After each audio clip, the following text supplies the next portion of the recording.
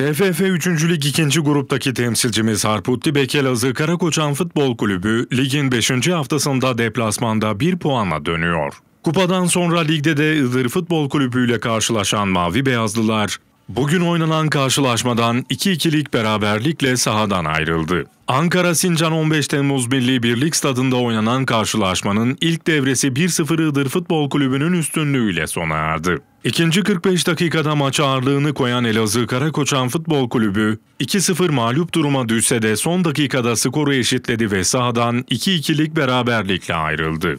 Elazığ Karakoçan Futbol Kulübü alınan 1 puanla puan tablosunda 8 puanla 5. sırada yer aldı.